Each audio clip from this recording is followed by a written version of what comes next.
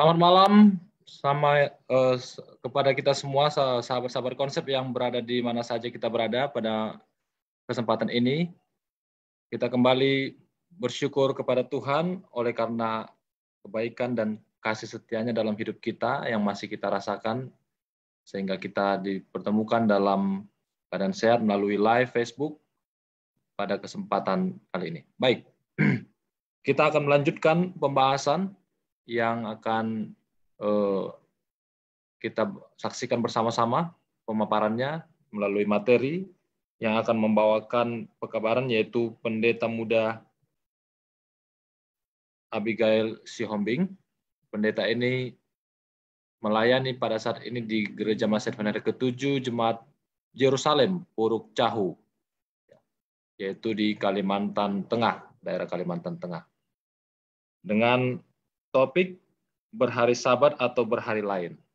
Jadi sepanjang satu bulan ini kita akan membahas eh, temanya yaitu menjawab tudingan-tudingan eh, miring ya, tudingan-tudingan miring terhadap pemahaman gereja Advent ya. Jadi ada tudingan-tudingan miring terhadap gereja Advent dan kita mau bahas satu persatu.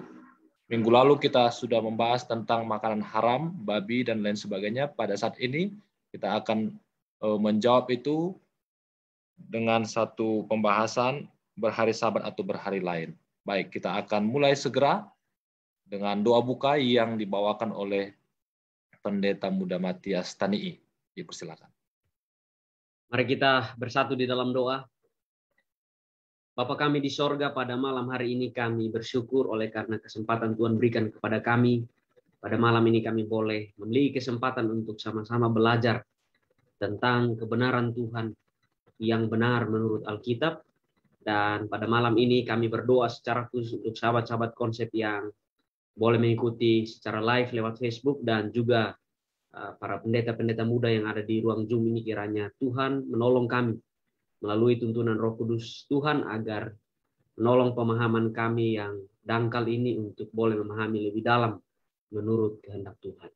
Bapa di sorga bersama-sama dengan kami, sementara kami belajar, Doa ini kami mohonkan di dalam nama Yesus yang menjadi juru selamat dan penebus bagi kami semua. Amin.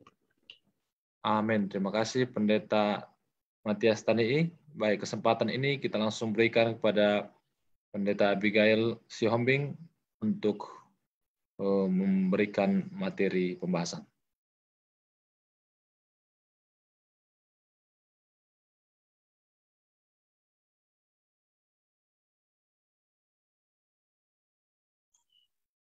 Baik, selamat malam bagi kita semua. Apakah suara saya terdengar jelas, Pendeta Jimmy? Ya, terdengar. Pendeta silakan lanjut. Baik, terima kasih. Selamat malam saudara-saudara yang ada di Zoom ini dan juga sahabat-sahabat konsep yang ada di Facebook yang menyaksikan tayangan ini ataupun di mana pun saudara dan kapan pun saudara menyaksikan ini. Semoga saudara diberkati oleh Tuhan dan seperti yang disampaikan oleh pendeta Jimmy tadi, pendeta Utara Barat, bahwa pada malam hari ini saya akan membawakan materi yang berjudul berhari sabat atau berhari lain. Baik, uh, saudara-saudara, sahabat-sahabat konsep yang dikasih oleh Tuhan, kata kunci dari pelajaran kita malam hari ini adalah sabat. Ya.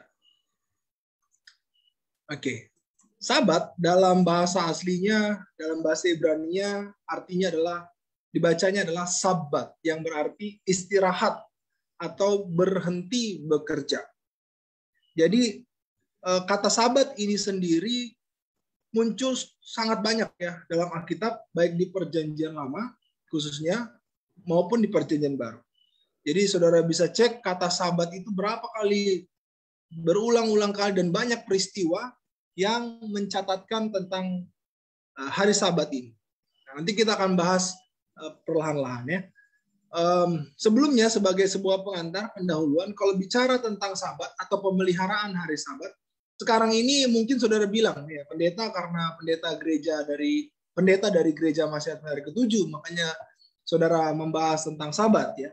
Karena pada malam hari ini atau pada bulan ini temanya adalah tentang uh, pemahaman gereja Advent atau tudingan miring tentang pemahaman gereja Advent. Kita akan coba uh, bahas bersama ya kita bahas bersama. Tetapi sebelumnya kita harus ketahui bahwa hari Sabat selain gereja masih ke-7 terdapat juga beberapa denominasi Kristen yang mempertahankan sabat hari Sabtu karena meyakini hukum moral dengan penuh hidup dengan penuh dalam kehidupan orang Kristen. Ada gereja Yesus sejati. Saya dapatkan ini di internet ya dan saya lihat masih banyak lagi dengan contoh-contohnya saya. Baptis hari ke-7, United Church of God, Messianic Judaism, Gereja Ortodoks, Gereja Ortodoks Ethiopia Tawahedo, Gereja Jemaat Allah Global Indonesia, dan masih banyak yang lain. Jadi bukan hanya, ini secara denominasi Kristen ya, bukan hanya gereja Masih Advent ke-7, tetapi ada juga gereja-gereja yang lain. Baik, empat hal yang akan saya bahas pada malam hari ini. Yang pertama, bagaimana sahabat digambarkan dalam Alkitab. Kita akan perlahan-lahan melihat bagaimana sahabat digambarkan dalam Alkitab. Apakah ada pergantian sahabat dari Sabtu menjadi Minggu berdasarkan pemahaman Kristen pada umumnya? Lalu yang ketiga, bagaimana sejarah terjadi terjadinya perubahan sabat dari Sabtu menjadi Minggu seperti yang terjadi sekarang ini pada denominasi Kristen pada umumnya. Lalu yang keempat, bagaimana penjelasan sabat sebagai matra Allah, matrai Allah bagi umat pilihan Tuhan di akhir zaman. Mari kita bahas satu persatu. Pertama, bagaimana sabat digambarkan dalam Alkitab? Menurut saya, pelajaran ini akan menjadi menarik dan akan menjadi lebih mudah kita pahami kalau kita mengetahui dasarnya. Dan ayat ini adalah dasar yang paling kuat kalau kita mau memahami tentang sabat. Dalam kitab kejadian atau asal usul dari sabat itu dimulai pada saat penciptaan. Ya, kejadian 2 ayat 1 sampai 3. Di sini kata sabat dalam terjemahan baru nggak ada ya. Ketika Allah pada hari ketujuh telah menyelesaikan pekerjaan itu, pekerjaan yang dibuatnya itu berhentilah ia pada hari ketujuh dari segala pekerjaan yang telah dibuatnya itu lalu memberkati hari ketujuh itu menguduskannya karena pada hari itulah ia berhenti dari segala pekerjaan penciptaan yang dibuatnya itu. Jadi saudara-saudara kata sabat di sini nggak ada. Katanya adalah hari ketujuh. Tapi kata berhenti itu menggunakan kata sabat. Ya. Jadi hari ketujuh adalah sabat menurut kejadian 2 ayat 1 sampai 3. Dan ini adalah dasar dari segala pembahasan kita yang akan kita bahas pada malam hari ini. Bahwa kata sabat, kita lihat di sini, atau kata uh, tentang sabat ini terjadi sebelum adanya dosa. Manusia pertama pada saat itu adalah Adam. Dan Adam bukanlah orang Yahudi, melainkan orang Eden. Jadi sabat ini bukan untuk orang Yahudi. Atau sabat itu bukan pada saat zaman bangsa Israel. Tidak. Tetapi sabat adalah dimulai di Taman Eden. Dan itu diberikan kepada Adam. Dan Adam bukan orang Yahudi. Demikianlah Yesus katakan dalam Markus 2 ayat 27, oleh kata kepada mereka, hari sabat diadakan untuk manusia, bukan hanya untuk orang Yahudi. Dan bukan manusia untuk hari sabat. Jadi jelas sinkronisasi antara penciptaan dan juga apa yang Yesus ajarkan bahwa hari Sabat dijadikan untuk manusia dan pada saat itu dari penciptaan manusia itu adalah Adam. Bukan hanya untuk orang Yahudi. Baik, hari Sabat di sini berfungsi sebagai hari perhentian. Dan ini menjadi suatu lembaga yang ditentukan untuk menjadi peringatan bagi seluruh manusia akan karya penciptaan Tuhan atas dunia ini. Itu sebabnya untuk membedakan sabat dengan hari lain, maka Tuhan melakukan tiga hal. Ia berhenti, pada hari ketujuh, ia memberkati hari ketujuh dan menguduskan hari ketujuh. Ini tiga hal ini yang diulangi pada kejadian pasal 2 ayat 1 sampai ayat yang ketiga. Baik, mari kita bahas yang masih dalam uh, poin yang pertama. Bagaimana sahabat digambarkan dalam Alkitab. Peristiwa setelahnya adalah mana ya ketika bangsa Israel di padang belantara. Kejadian 16 ayat 23, ayat 25, ayat 26, ayat 29. Saya akan bacakan bagian yang di bold aja ya. Bahwa Tuhan uh, Musa berkata kepada mereka, inilah yang dimaksudkan Tuhan. Besok adalah hari perhentian penuh. Sabat yang kudus bagi Tuhan. Maka roti yang perlu kamu bakar, bakarlah. Apa yang kamu perlu, apa yang perlu kamu masak, masaklah. Dan segala kelebihannya biarlah di tempatnya untuk disimpan sampai pagi. Makanlah itu pada hari ini, sebab hari ini adalah sabat untuk Tuhan pada hari ini tidaklah kamu mendapatkannya di padang. Jadi pada hari sabat, mana itu tidak turun dari langit. Enam hari lamanya kamu memutnya, tetapi pada hari ketujuh ada sabat. Maka roti itu tidak ada pada hari itu. Ayat 29. Itulah sebabnya pada hari keenam ia memberikan kepadamu roti untuk dua hari. Pada hari keenam itu hari apa? Ya. Hari persiapan sebelum sabat. Tinggallah kamu di tempatmu masing-masing. Seorang pun tidak boleh keluar dari tempatnya pada hari ketujuh. Apa yang bisa kita pelajari dari peristiwa sabat dan mana ini? Selama 40 tahun atau sama dengan 2000 kali pergantian sabat. Orang-orang Israel berada di padang belantara, mujizat mana mengingatkan mereka atas pola kerja enam hari. Dan mereka beristirahat pada hari ketujuh. Jadi ini menggambarkan sebuah pola di mana enam hari lamanya bekerja, memungut mana, dan pada hari ketujuh beristirahat. Baik, yang ketiga, sahabat adalah bagian dari sepuluh hukum. Inilah dalam Keluaran 20 ayat 8 sampai 11. Ingatlah dan kuduskanlah hari Sabat, tetapi hari ketujuh adalah hari Sabat Tuhan Allahmu. Maka jangan melakukan satu pekerjaan, engkau atau anakmu laki-laki, entah anakmu perempuan, hambamu laki-laki, hambamu perempuan, atau hewanmu atau orang asing yang di tempat kediamanmu. Sebab enam hari lamanya Tuhan menjadikan langit dan bumi, laut dan segala isinya. Ia berhenti pada hari ketujuh. Itulah sebabnya Tuhan memberkati hari sabat dan menguduskan. Sabat muncul dalam bagian 10 hukum Allah. Kata ingat tidak menunjukkan bahwa sabat lebih penting dari sembilan hukum yang lain. Namun tersirat bagaimana sabat sudah atau mungkin akan terlupakan bagi bangsa Israel waktu itu. Hal tersebut juga menunjukkan semua hukum adalah penting karena melanggar salah satu melanggar keseluruhan. Sepuluh hukum adalah cerminan dari karakter Allah yang adalah kasih. Ya. Jadi saudara bayangkan kalau hari sabat ini dicomot atau diambil ya dari 10 hukum itu yang dianggap bahwa sabat ini tidak lagi relevan bagi saat ini. Padahal 10 hukum inilah cerminan karakter Allah. Kalau kita bayangkan 10 hukum ini adalah gambaran kasih Allah. ya Dan kasih Allah adalah kekal. Hari sabat adalah bukti kasih Allah kepada manusia. Selain itu ketika membaca keluaran 20 ayat 8 sampai 11 ini atau 10 hukum Tuhan ini, kita melihat hubungan yang tidak terpisahkan antara sabat hari ketujuh dengan penciptaan. Sekali lagi diulang lagi. Kejadian 2 ayat 1 sampai 3 sebagai sebuah dasar. Satu-satunya alasan yang dikemukakan di sana untuk berhenti hari ketujuh adalah karena Tuhan telah menjadikan dunia selama enam hari. Maka pada hari ketujuh dia berhenti, dia memberkati dan menguduskan hari itu. Lalu yang keempat, bagaimana sahabat digambarkan dalam Alkitab? dalam ulangan 5 ayat 15. Ini menggambarkan kelepasan bagi bangsa itu. Sebab haruslah kau ingat bahwa engkau pun dahulu budak di tanah Mesir, engkau dibawa keluar dari sana oleh Tuhan Allahmu dengan tangan yang kuat dan lengan yang rajum. Itulah sebabnya Tuhan Allahmu memerintahkan engkau merayakan hari Sabat. Ketika Allah melepaskan bangsa Israel dari perambahan Mesir, hari Sabat juga menjadi sebuah peringatan kelepasan bagi bangsa Israel dari perbudakan. Lalu yang kelima, bagaimana sahabat digambarkan dalam Alkitab? sahabat pada zaman nabi-nabi. Ada beberapa nabi yang saya tuliskan di sini. Pertama Nabi Yeskiel. Hari sabatku jika kuberikan kepada mereka menjadi peringatan di antara aku dan mereka. Supaya mereka mengetahui bahwa akulah Tuhan yang menguduskan mereka. Kuduskan hari sabatku. Sehingga itu menjadi peringatan di antara aku dan kamu. Supaya orang mengetahui bahwa akulah Tuhan Allahmu. Begitu juga di zaman atau di dalam kitab Yesaya. Nabi-nabi perjanjian lama menuliskan tentang sabat termasuk Yesaya. Yesaya dalam sebuah perikop tentang ibadah sejati, dia menyinggung sabat sebagai hari yang harus dihormati. Latar belakang yang terjadi di Israel saat itu adalah mereka tidak setia kepada Tuhan, salah satunya adalah dalam hal pemeliharaan hari sabat.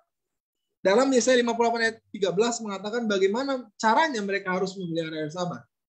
Apabila engkau tidak menginjak-injak hukum sabat, tidak melakukan urusan pada hari kudusku, apabila engkau menyebut hari sabatku, hari kenikmatan, Hari kudus Tuhan hari yang mulia, apabila engkau menghormati dan tidak menjalankan segala acaramu dan dengan tidak mengurus urusanmu dan berkata omong kosong. Dari ayat di atas kita bisa melihat bahwa ada indikasi mereka melanggar hukum sabat dengan melakukan urusan duniawi pada hari sabat. Sehingga Yesaya memanggil mereka untuk menjadikan sabat sebagai hari kenikmatan, hari kudus Tuhan, dan hari yang mulia. Selain itu, dalam kitab Yesaya juga dituliskan, ya bukan hanya itu ya, Yesaya 56 menuliskan bagaimana sahabat diberikan kepada mereka yang juga bukan non-Yahudi. Ya, ini kembali menarik kepada kejadian 2 ayat 1 sampai 3. Di sini sebenarnya jelas digambarkan bahwa sahabat bukan hanya untuk orang Yahudi, melainkan diharapkan bangsa Israel inilah justru dapat menjadi juru kabar Tuhan termasuk mengenai sahabat kepada bangsa-bangsa lain. Mari saudara lihat di dalam Yesaya pasal 56. Ini saudara bisa baca, saya sarankan satu perikop, tapi saya pilih beberapa ayat di sini untuk menggambarkan uh, makna dari Yesaya 56 ini bahwa bahar sahabat itu dijadikan bukan hanya bagi bangsa Yahudi atau juga diberikan kepada orang-orang non Yahudi. Saya bacakan yang di bawah ya, saudara bisa baca nanti ayatnya. Berbahagialah orang yang melakukannya dan anak manusia yang berpegang kepadanya yang memelihara hari sabat dan tidak menajiskannya, dan yang menahan diri dari setiap perbuatan jahat, dan orang-orang asing yang menggabungkan diri kepada Tuhan untuk melayani dia, untuk mengasihi nama Tuhan, untuk menjadi hamba-hambanya, semuanya yang memelihara hari sabat dan tidak menajiskannya, yang berpegang pada perjanjianku, mereka akan kubawa ke gunungku yang kudus dan akan kuberi kesukaan di rumah doaku. Aku akan berkenan kepada korban-korban bakaran dan korban-korban sembelihan mereka yang dipersembahkan di atas mesbahku. Ini yang penting kalimatnya. Sebab rumahku akan disebut rumah doa bagi segala bangsa. Jadi hari sabat, saudara-saudara, Tuhan telah ciptakan bagi segala bangsa. Bukan hanya di saat penciptaan, tetapi pada waktu zaman bangsa Israel, termasuk pada zaman Nabi Yesaya ini pun, dibuka secara umum bagi non-Yahudi untuk memelihara hari Sabat. Lalu yang keenam, kita masuk ke zaman Yesus. Jelas dalam Alkitab, Yesus adalah Tuhan atas hari Sabat. Dalam Lukas 4 ayat 16, Yesus datang beribadah pada hari Sabat. Ia datang ke Nazaret tempat ia dibesarkan dan menurut kebiasaannya. Bukan hanya sekali dua kali, tetapi menurut kebiasaan pada hari sabat ia masuk ke rumah ibadat lalu berdiri hendak baca Alkitab. Yesus berbuat baik pada hari sabat. Inilah beberapa ayat saja yang mewakilkan apa yang Yesus lakukan, apa yang menjadi uh, prinsip bagaimana Yesus juga adalah Tuhan atas hari sabat. Yesus juga adalah uh, menguduskan hari sabat. Yesus tidak meniat Yesus tidak membatalkan atau bahkan uh, menggantikan ya, hari Sabat. Lalu yang ketujuh, hari Sabat dan para rasul. Bagaimana Alkitab menggambarkan uh, Sabat ya? Seperti yang dilakukan oleh Kristus, begitu pula rasul-rasul mereka berbakti pada hari Sabat. Rasul Paulus memasuki tempat perbaktian pada hari Sabat. Bahkan orang-orang bukan Yahudi sekalipun mengundang Paulus untuk menyampaikan firman Allah pada hari Sabat. Jadi ini ada ayat-ayatnya. Jadi rasul-rasul pun setelah Yesus naik ke surga tidak menggantikan atau tidak eh, berhenti untuk menguduskan hari Sabat. Mereka pun tetap berhari Sabat. Jadi dari poin yang pertama, saya ingin memberikan sedikit kesimpulan sederhana bahwa di seluruh Alkitab jelas dikatakan dari Adam di perjanjian lama sampai kepada rasul-rasul di perjanjian baru bahwa mereka menguruskan sahabat. Tidak ada dinyatakan bahwa sahabat ini hanya untuk bangsa tertentu saja atau bangsa Yahudi saja. Melainkan sahabat dijadikan untuk seluruh umat manusia. Dan jelas juga dikatakan bahwa Yesus Tuhan kita menguruskan hari sabat sebagai sebuah teladan bagi para pengikut pengikutnya. Baik, mari kita masuk ke poin kedua. Apakah ada pergantian sabat Sabtu menjadi Minggu Inilah beberapa ayat, ada delapan ayat kurang lebih, tetapi ada empat bagian yang dibagi eh, untuk menggambarkan ayat-ayat yang disalah mengerti terkait sahabat. Kita bahas satu persatu. Pertama, sahabat Yahudi telah digantikan oleh sahabat Kristen. Bagi beberapa orang mengatakan begitu ya. Yang dimulai oleh rasul-rasul yang merayakan hari pertama sebagai hari kebangkitan Kristus. Ya, ini kata mereka. Lalu yang kedua, rasul-rasul kan beribadah pada hari Minggu. Ada dua ayat yang mereka tawarkan. Lalu yang ketiga, hari Tuhan dalam Wahyu 10, Wahyu 1 ayat 10. Sepertinya mengacu kepada kebiasaan baru di antara jemaat-jemaat Kristen. Ya, artinya kebiasaan baru ini berubah dari Sabat Sabtu menjadi hari pertama atau hari Minggu. Sabat adalah bayangan sampai kedatangan Yesus Kristus dalam Kolose 2 ayat 16 sampai 17. Jadi saudara-saudara yang dikasih dalam Tuhan, sahabat-sahabat konsep, dari empat ayat ini atau dari empat uh, konsep ini, dari beberapa ayat ini, dari empat prinsip yang mereka ajukan untuk menggantikan sahabat menjadi minggu, nanti kita akan bahas bersama-sama. Jadi uh, dalam bahasa Ibrani ya, ini saya gambarkan bagaimana semua orang Yahudi termasuk pada zaman Yesus sepakat bahwa hari pertama adalah hari Minggu atau dalam uh, bahasa Ibrani Yom Ehad sehingga dapat disimpulkan Sabat adalah hari ketujuh. Ini tidak menjadi sebuah hal yang diperdebatkan bagi mereka. Ya. Yom Ehad, Yom Seni, Yom Silisi, Yom Revi'i, Yom Kamisi, Yom Sisi, Yom Sabat. Ya. Jadi hari pertama adalah Ehad atau dalam bahasa Arab Ahad yang hari Minggu dan hari Sabat hari ketujuh dalam bahasa Ibrani adalah Sabat. Jelas ini tidak menjadi sebuah perdebatan bagi mereka. Baik, mari kita coba lihat satu persatu prinsip yang mereka ajukan untuk menggantikan sabat menjadi minggu. Baik, pertama, sabat Yahudi telah digantikan oleh sabat Kristen yang dimulai oleh rasul-rasul karena kebangkitan Kristus ya. Dalam Markus 16 ayat 2, Markus 28, sorry, Markus 16 ayat 2, Matius 28 ayat 1, Lukas 24 ayat 1. Ini jelas semua dikatakan dalam ayat-ayat ini Yesus bangkit pada hari pertama minggu itu. Bahkan dalam Yohanes 20 ayat 1 sampai sorry, ayat 1 dan ayat 19 dua kali Yesus menampakkan diri kepada murid-murid yang menurut beberapa orang itu adalah penekanan bahwa sahabat berpindah dari Sabtu menjadi Minggu. Apakah benar demikian? Baik. Pertama, sabat sejak pada awalnya seperti yang saya ceritakan tadi bahwa ini diciptakan bukan hanya untuk orang Yahudi. Jadi kenapa harus ada pembedaan antara sahabat Yahudi dan sahabat Kristen? Ini yang menjadi sebuah prinsip yang harus diluruskan pertama-tama. Jadi mereka menganggap bahwa hari Minggu itu adalah sahabat Kristen dan hari Sabtu itu sahabat Yahudi. Yesus tidak membuat sahabat itu sahabat Yahudi kah, sahabat apa? Enggak. Sahabat untuk seluruh manusia. Sahabat adalah milik Tuhan Allah dan diciptakan untuk manusia, bukan hanya milik orang Kristen atau orang Yahudi saja. Bahkan Yesus sendiri juga menyucikan hari Sabat, seperti yang saya katakan juga sebelumnya. Seperti kebiasaannya, Yesus masuk ke rumah ibadat dan beribadah pada hari Sabat. Yesus tidak pernah mengatakan bahwa hari kebangkitannya adalah pengganti Sabat. Sejarah Sabat sudah sangat panjang, lalu kenapa harus diubah? Apakah Yesus sendiri pernah mengatakan bahwa hari kebangkitannya adalah pengganti Sabat dalam siklus mingguan yang sudah terjadi ribuan tahun? Yesus tidak pernah mengatakannya. Ya. Oleh karena itu kenapa kita mengatakan demikian? Yesus sendiri tidak pernah mengatakan bahwa hari kebangkitannya adalah pengganti sabat. Lalu yang keempat, hari sabat itu adalah bagian dari sepuluh hukum. Lalu mengapa harus disempurnakan? Hari sabat itu sudah menjadi hari sabat itu menjadi hari Minggu hanya terkait kebangkitan Yesus yang menjadi yang adalah hari Minggu. Hari Minggu itulah yang disebut misa yang menurut Daniel merubah hukum dan waktu. Nanti kita akan bahas lagi lebih dalam. Tapi hari sabat ini ada dalam 10 hukum. Ya. Lalu kenapa harus diganti, disempurnakan? Seolah-olah tidak sempurna sebelumnya. Oleh karena kebangkitan Yesus disempurnakanlah jadi hari Minggu. Apakah 10 hukum ini tadinya tidak sempurna? Ya. Lalu kenapa yang hari sabatnya saja yang diganti? Kenapa nggak hukum yang lain? Dari awal 10 hukum ini sudah sempurna. Bahkan jari tangan Tuhan sendiri yang menuliskan. Lalu kenapa ketika Yesus bangkit harus sempurnakan? Nah, ini pertanyaan yang harus kita pikirkan baik-baik. Lalu yang kelima, Allah tidak berubah.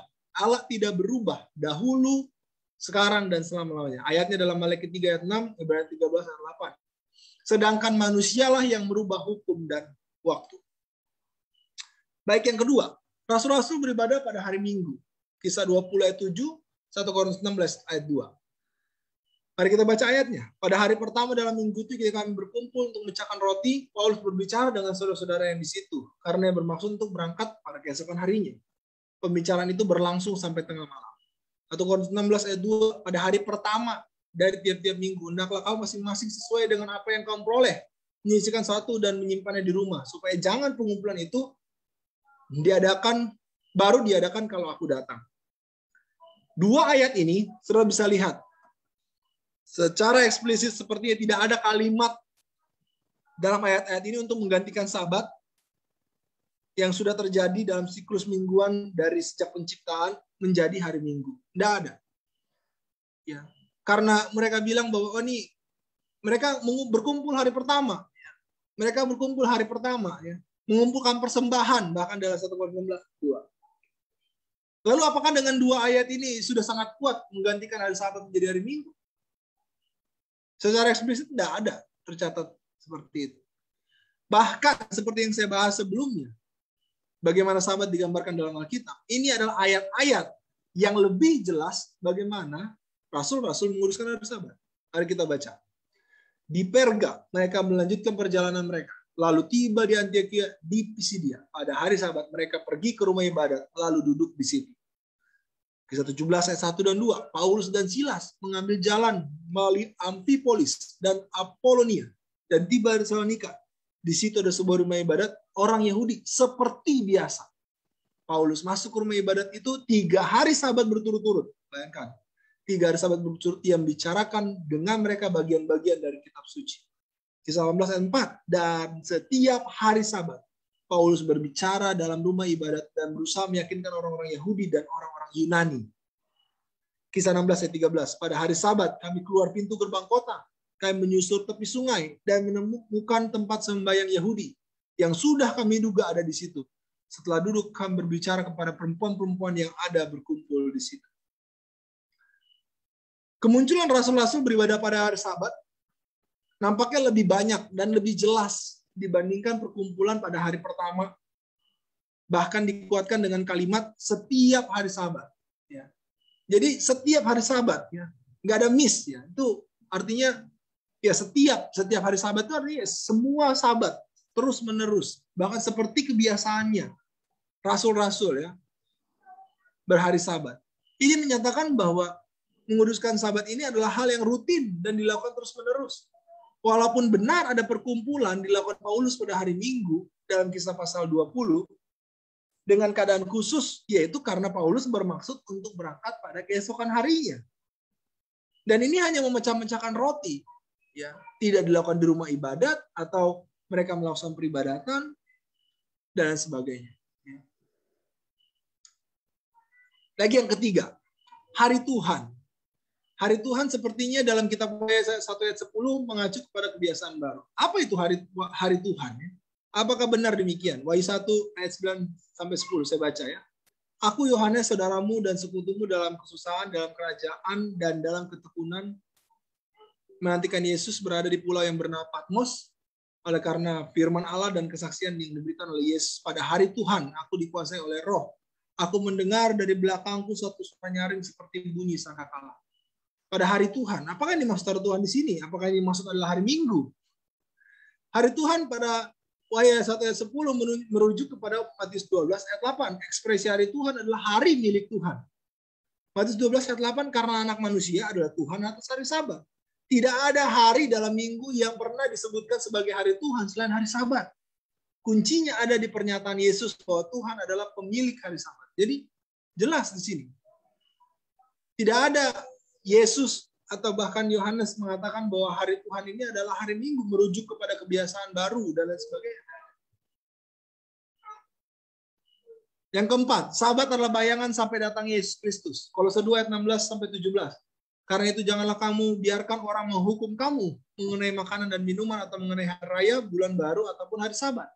Semuanya ini hanyalah bayangan dari apa yang harus datang, sedang wujudnya ialah Kristus. Baik, kita coba telah kalau 2 ayat 16 17 ini. Kata sabat dalam bahasa asli memiliki berbagai arti, termasuk sabat mingguan dan sabat upacara tahunan Imamat 23 di mana itu diidentifikasi melalui hubungan linguistik dan konteks. Dalam Kolose 2 ayat 16, teks asli Yunani kata sahabat yang digunakan adalah sabaton.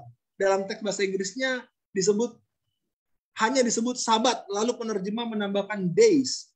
Dalam dalam hal ini menjadi sabat days yang mengandung makna jamak. Sementara dalam terjemahan Indonesia baru atau eh, terjemahan baru yang kita gunakan sekarang ini hanya disebut sabat di mana maknanya seolah-olah hanya singular ya. Kata sabaton dalam bahasa asli Yunani adalah dalam bentuk jamak genitif. hari-hari sabat atau of the Sabbats. Jadi para penerjemah bahasa Alkitab, bahasa Inggris memahami kata ini dan mereka menerjemahkan hari-hari sabat atau the Sabbath days.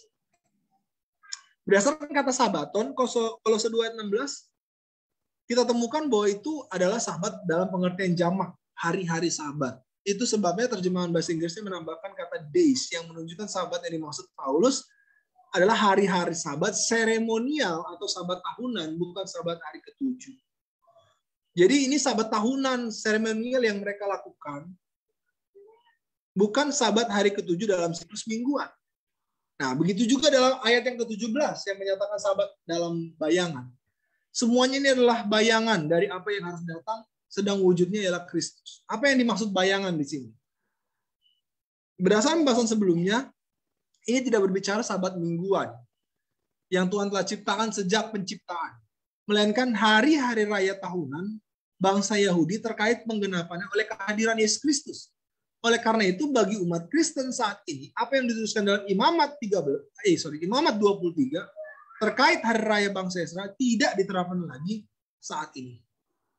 Jadi apa yang menjadi bayangan di sini adalah hari raya seremonial atau sabat tahunan yang telah yang diterapkan bangsa Israel pada imamat pasal 23, bukan sabat dalam siklus mingguan.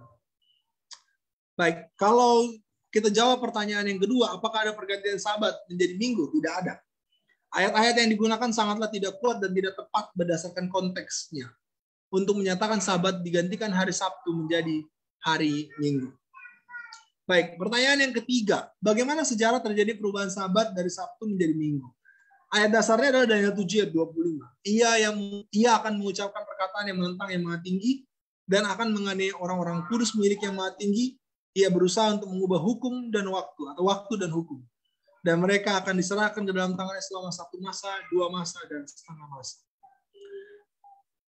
Timbulnya pemilihan hari Minggu, ini saudara bisa cari tahu uh, informasinya dan ini terdapat di mana pun atau di internet di mana pun saudara bisa unggah ini di mana-mana.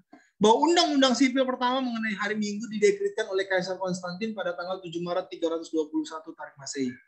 Dengan melihat bahwa hari Minggu itu sangat populer di kalangan pemuja matahari dan juga Kristen. Sehingga Konstantin berharap bahwa dengan menjadikan hari Minggu itu sebagai hari libur, ia dapat memastikan dukungan dari kedua konstituensi, yaitu kekafiran dan kekristenan bagi pemerintahannya.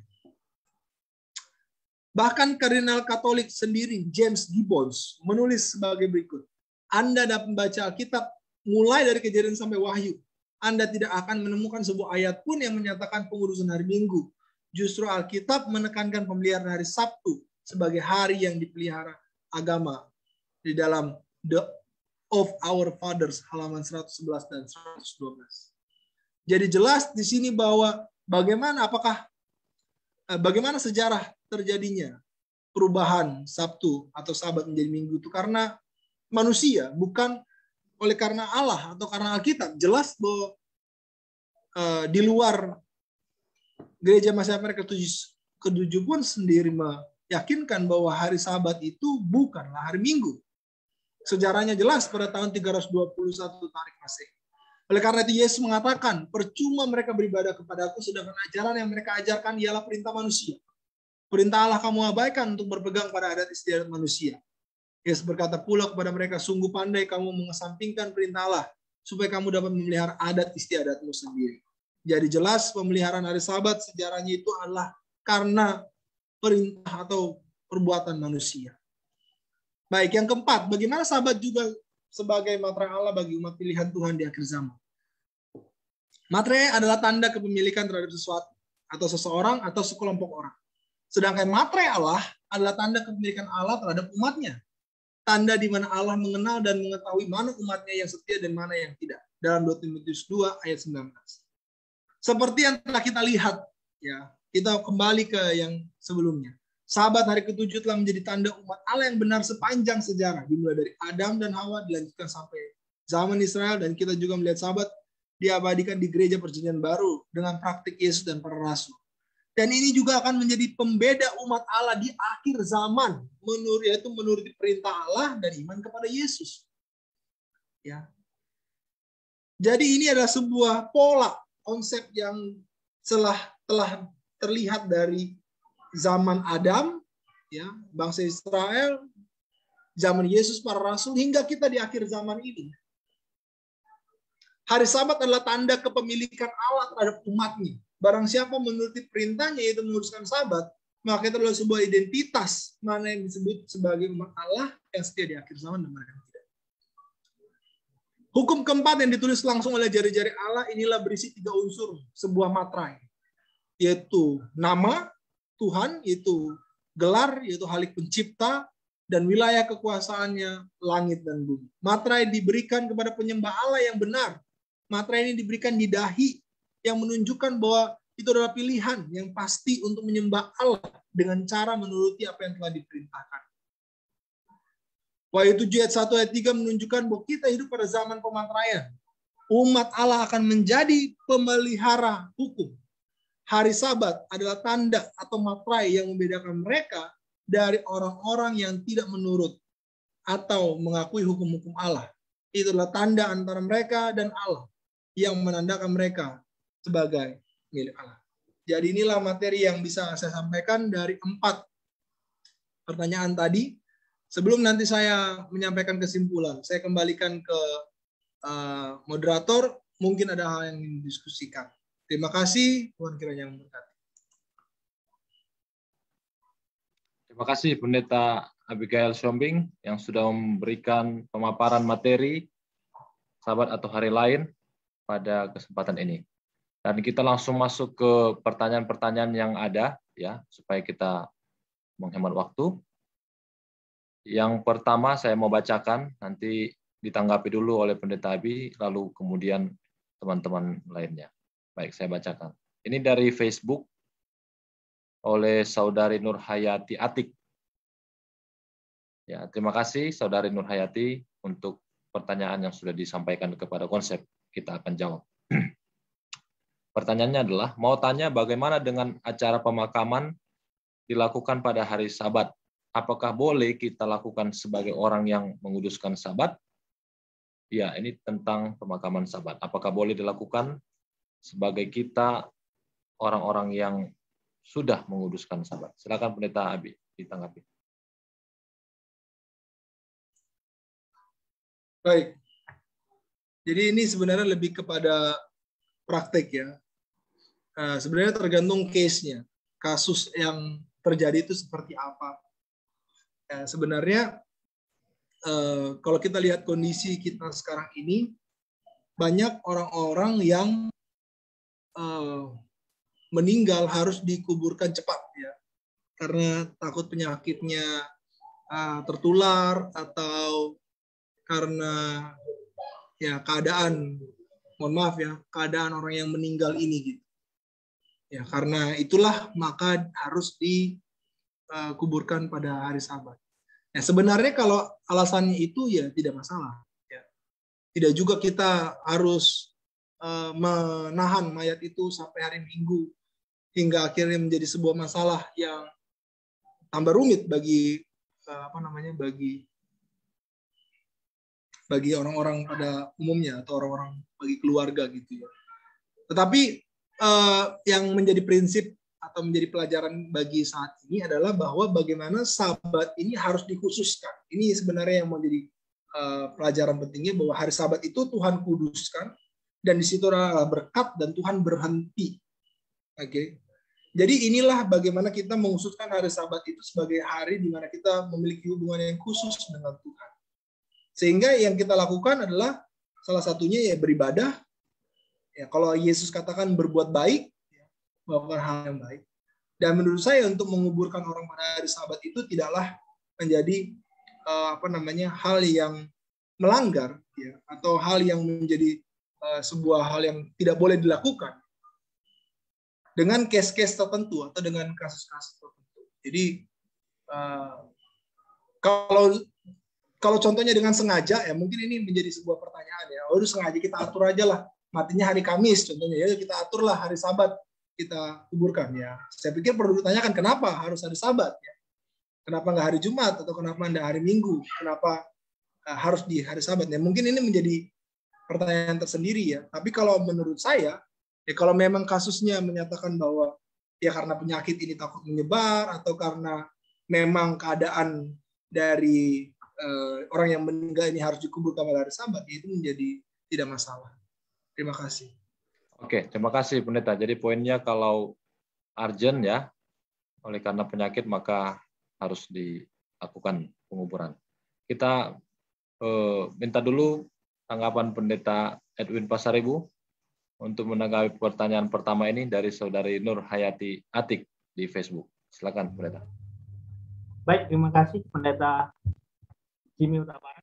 Terima kasih juga Ibu Ati yang sudah bertanya dan sudah jelas ya dari pembicara tadi menyampaikan kalau masih bisa dihindari pada hari Sabat untuk memakamkan orang meninggal, ya dihindarilah.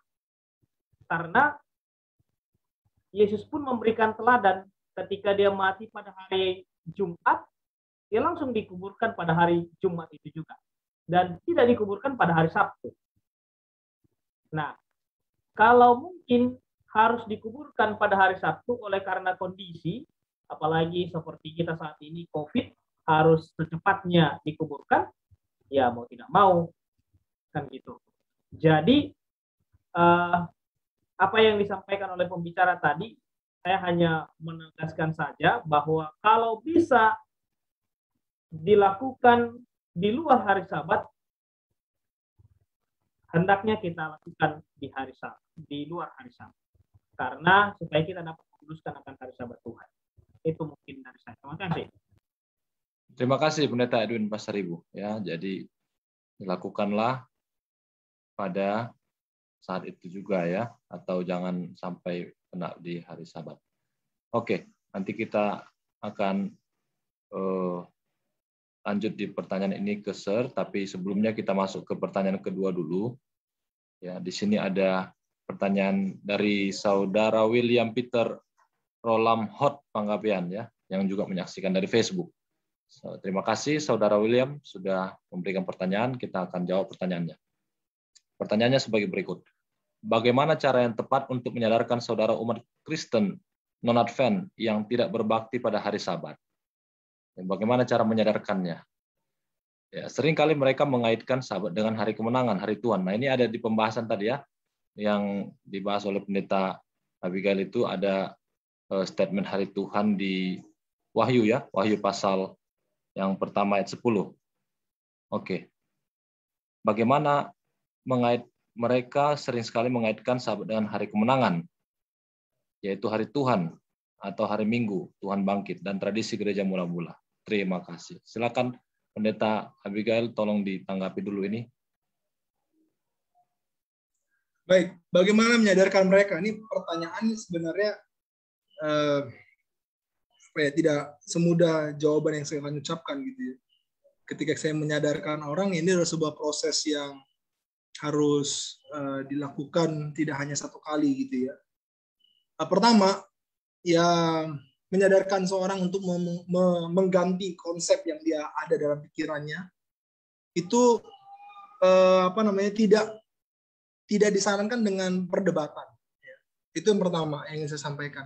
Berdebat itu tidaklah menjadi cara untuk merubah konsep seseorang yang tadinya me, apa, mem, ada dalam pikirannya bahwa hari Sabat itu atau hari kemenangan itu adalah hari Minggu yang dia pelihara menjadi hari Sabat. Perdebatan itu tidak tidaklah menjadi sebuah solusi ya. Justru perdebatan ini akan menambah ego masing-masing ya perdebatan ini malah akan menjadi sebuah uh, seperti ring pertarungan gitu tidak menobatkan atau tidak uh, tidak disarankan tetap seperti yang Yesus lakukan dengan kasih dia bersahabat ya bagaimana kita mau sharing dengan sahabat dengan orang yang uh, yang datang dengan niat mau berdebat itu kan beda ya ada orang datang mau tahu, mau belajar karena kita sudah bersahabat dengan orang datang mau kita seperti adu ilmu gitu.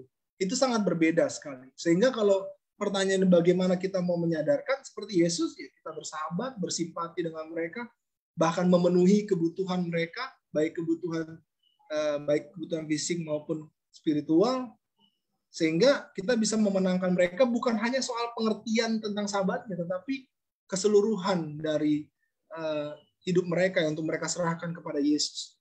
Jadi ketika pertanyaannya bagaimana menyadarkan itu ya tidak seperti uh, satu dua kali pertemuan, mungkin itu adalah sebuah proses yang yang akan berlangsung terus menerus, bersahabat dan lain sebagainya, ya, bukan dengan perdebatan. Baik, terima kasih. Oke, bagaimana kalau kita mengatakan bahwa biarlah Roh Kudus yang menyadarkan begitu ya. Yang penting saya sudah ajarkan, yang penting saya sudah kasih tahu yang benar mana Roh Kudus lah yang menyadarkan. Kira-kira tanggapan seperti itu bagaimana, Pendeta Abi? Iya, kembali lagi ya betul maksud saya begini, Mbak. Bagaimana kita melakukan bagian kita? Ya kalau kita melepas itu seolah-olah biarlah Roh Kudus yang me, me, apa, menjelaskan, tetapi kita tetap melaksanakan eh, sejauh mana upaya kita pertama, lalu yang kedua ketika kita belajar atau ketika diskusi, ketika kita uh, menyatakan ini dengan persahabatan yang sudah terjalin sebelumnya, kita kan lakukan juga dengan berdoa. Kita lakukan juga dengan pertolongan Roh Kudus. Ya. Tentu uh, ini adalah sebuah kesinambungan. Ya. Tidak hanya kita serahkan kepada Roh Kudus, tetapi uh, kita tidak melakukan bagian kita. Jadi uh, tetap memang butuh uh, kuasa Roh Kudus untuk memberikan mungkin kita punya penerangan keterbatasan, kita punya kata-kata uh, yang kadang-kadang berbelit-belit atau kita uh, punya ayat-ayat yang kurang lengkap dan lain sebagainya. Jadi butuh kuasa Roh Kudus tetapi tetap kita melaksanakan upaya seperti yang saya sampaikan di awal. Terima kasih. Baik, terima kasih Pendeta Abigail ya. Uh, sudah memberikan tanggapannya terkait pertanyaan kedua tadi. Sebelum ke Separdosi, kita dengarkan dulu tambahan dari Pendeta Jeremy Hutajulu menanggapi pertanyaan kedua tadi. Baik, terima kasih Pendeta untuk kesempatannya. Um, di kitab Amsal 25 ayat 11 dikatakan perkataan yang diucapkan tepat pada waktunya adalah seperti buah apel emas di pinggan perak. Seperti yang tadi Pendeta Abi sudah sampaikan memang itu perlu waktu yang tepat gitu ya. Artinya ada proses yang berjalan dan um, ketika kita mempraktekannya mungkin kita bisa mulai dengan ya tadi sudah disampaikan bersahabat dan membangun hubungan. Namun untuk praktek berdiskusinya kita bisa bertanya dalam arti kita bertanya yang memang mau sama-sama belajar. Mungkin ada pemahaman-pemahaman dari sahabat kita yang masih dia mau pertanyakan, yang masih dia mau konfirmasi. Yang saya tahu begini Pak, apakah demikian menurut Alkitab? Dan kita bisa sediakan jawabannya. Atau kalau, wah di sini sangat baik sekali dia mengikuti tradisi-tradisi gereja. Artinya, ya mari kita sama-sama periksa catatan sejarah. Mungkin banyak di buku-buku ya, pasti banyak kita dengan uh, apa zaman teknologi sekarang kita bisa akses. Mari kita pertanyakan, seperti apa murid mula-mula, gereja mula-mula beribadah di hari Sabat. Namun kita dengan niat ya memang mau sama-sama mencari, bukan mau memper, uh, bukan mau berdebat seperti yang Pendeta Abi bilang tadi. Uh, jadi kita bisa clearkan kira-kira benteng-benteng dalam pikiran sahabat kita itu apa yang masih di mengganjal di pikirannya kalau memang sudah yakin, oh ini sudah yakin, sahabat itu bukan untuk orang Yahudi saja, dia sudah yakin. Dan sampai nanti dia bisa yakin semua tentang hari sabat berdasarkan Alkitab, ya mudah-mudahan Roh Kudus bekerja dan beliau suatu saat bisa juga berhari sabat sama seperti yang diajarkan di Alkitab. Demikian pendeta, terima kasih. Baik, terima kasih pendeta Jeremy. Kami minta Serpardosi untuk uh, memberikan tanggapan atas pertanyaan satu dan dua ini. Yang pertama tadi adalah bagaimana tentang penguburan hari Sabat. Lalu yang kedua, bagaimana kita menyarankan yang non advent untuk pelihara hari Sabat. Silakan, Sir. Baik, terima kasih ya atas pemaparannya Pendeta Muda Abigail dan juga sahabat konsep yang hadir dan bertanya ya. Uh, yang dikubur ya dikuburlah gitu ya. Tapi mengubur seseorang pada hari Sabat itu harus baik dan benar alasannya. Ada dua alasan kenapa seseorang itu harus dikubur secepatnya, bahkan kalau bisa di bawah 24 jam, yaitu penyakit menular dan orang yang mati tenggelam. Karena pembusukan itu akan begitu cepat, sementara tidak bisa atau tidak sempat diformalin. Jadi itu harus segera dikubur. Tetapi kalau itu adalah kematian yang normal, maka adalah baik untuk menghindarkan pemakaman pada hari Sabat karena itu akan menghabiskan banyak energi dan bisa tidak fokus lagi kita kepada hari Sabat Tuhan pencipta penebus tapi sudah fokus kepada hal-hal yang bersifat teknis dan duniawi yaitu pemakaman dan lain sebagainya. Nah, masalah yang kedua adalah bagaimana meyakinkan orang tentang hari Sabat itu. Nah, kalau kembali kita kepada topik bahasan kita, hari Sabat itu bukan untuk dibawa dalam sebuah perdebatan. Karena kalau kita berdebat, maka masing-masing mempunyai alasannya sendiri dan masing-masing menganggap bahwa apa yang dijadikan alasan itu adalah benar. Jadi yang paling baik itu adalah yang pertama dihidupkan hari Sabat itu. Karena akan orang akan melihat apa perbedaan orang yang menerima hari Sabat hari ketujuh hari Sabtu dengan hari Sabat hari yang lain. Harus ada dilihat orang perbedaannya. Karena manusia itu suka ada sesuatu yang menarik gitu. Ada bedanya enggak? Beda dalam kehidupan orang yang menerima hari Sabat hari ketujuh hari Sabtu itu dalam perilakunya dan sebagainya. Nah, kalau itu ada perbedaan maka orang akan menarik melihat. Yang kedua adalah kedua belah pihak, baik yang belum menerima hari Sabat hari Sabtu dan yang sudah menerima hari Sabat hari Sabtu, Mari kita mengosongkan pikiran kita masing-masing dan memulai dari nol. Ya, kalau kita digerakkan oleh Roh Kudus Tuhan, maka kita akan menemukan kebenaran itu. Jadi sekali lagi saya katakan bahwa berdiskusi tentang hari Sabat itu bukan untuk diperdebatkan, karena masing-masing mempunyai jawabannya sendiri untuk mempertahankan hari Sabat itu, Sabat hari Sabtu hari ketujuh atau Sabat hari yang lain. Tetapi ketika kita mau mengosongkan hati pikiran kita, lalu membiarkan eh, firman itu berbicara kepada kita, sambil juga kita mencari fakta-fakta dalam sejarah kekristenan di dunia ini, maka seharusnya orang itu tidak akan menolak lagi tentang hari Sabat, hari Sabtu, hari ketujuh, sesuai dengan kebenaran Alkitab. Ya, karena sejarahnya begitu. Nah, yang ketiga ini yang menarik. Ada orang sudah terima hari Sabat, hari Sabtu, hari ketujuh sebagai hari yang benar untuk beribadah, hari beristirahat. Tetapi oleh karena ada kendala duniawi, maka dia menunda untuk menerima itu. Ya contohnya adalah masalah pekerjaan. Di hari Sabat kan hari Sabat ketujuh kan kita tidak boleh bekerja pekerjaan yang sehari-hari kita lakukan, mencari nafkah dan sebagainya. Sementara dia harus bekerja pada hari Sabat hari ketujuh, hari Sabtu. Sehingga ini menjadi kendala bagi dia untuk menerima itu. Secara teori dia sudah terima, tetapi secara praktek belum dia belum dapat menghidupkan atau menerima itu karena karena masalah pekerjaan dan lain sebagainya. Nah, di sinilah tadi saya katakan kita kembali lagi kepada pokok yang pertama, apa itu? Melalui contoh kehidupan kita, melalui teladan kita, maka orang itu akan teryakinkan bahwa secara teori dia menerima hari Sabat itu, dan secara praktek pun dia akan menerima hari Sabat itu. Terima kasih, Pak. Terima kasih, Sir. Baik, sudah jelas ya. Untuk teman-teman, sahabat-sahabat konsep yang menyaksikan dari live Facebook dan juga yang bertanya tadi, kiranya semua jawaban-jawaban bisa diambil sebagai uh, jawaban yang benar yang bisa disampaikan kepada orang lain. Baik, kita akan masuk ke pertanyaan yang ketiga. Demikian pertanyaannya. Bolehkah merayakan hari Sabat sebagai hari perhentian, tapi di hari Sabat yang berbeda? Wah, berarti ini hari lain ya maksudnya ya. Tidak di hari Sabtu. Toh juga Paulus berkata dalam Roma 14 ayat 5 bahwa semua hari sama dan setiap orang harus benar-benar yakin dalam hatinya sendiri. Oke, Roma 14 ayat 5 saya bacakan. Yang seorang menganggap hari yang satu lebih penting daripada hari yang lain, tetapi yang lain menganggap semua hari sama saja. Hendaklah setiap orang benar-benar yakin dalam hatinya sendiri.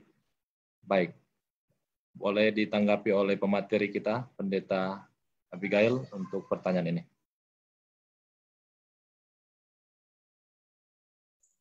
Baik, terima kasih. Eh, ketika Allah menetapkan itu hari ketujuh dan Allah menguduskannya, saya pikir itu adalah sebuah kata kunci di mana hari itu memang sudah diasingkan atau dipisahkan. Kata kudus atau ya ini kita punya teori dari dosen kita juga ya. Kata kudus atau kados itu ya memang adalah artinya dipisahkan, diasingkan, dikhususkan. Dan hari ketujuh itu sudah ditetapkan sebagai hari yang dikhususkan. Nah, ketika ini sudah dikhususkan, sudah diasingkan, dipisahkan, maka ya ini berbeda dengan enam hari lainnya. Tidak bisa dipindah-pindah gitu. Tidak bisa dipindah-pindah. Nah, sedangkan apa yang Rasul Paulus sampaikan dalam Roma 14 ayat 5 ini tidak tidak hanya terkait tidak terkait sabat hari ketujuh ya. Kemarin uh, pendeta muda Riki sudah bahas itu dalam kitab Roma ya.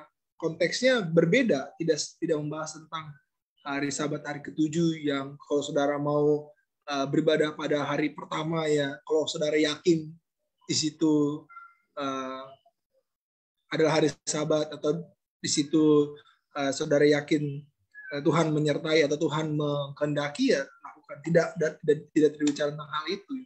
Tapi dari awal konsep sudah jelas. Tuhan menguduskan memisahkan mengasingkan hari ketujuh itu. Artinya ini beda.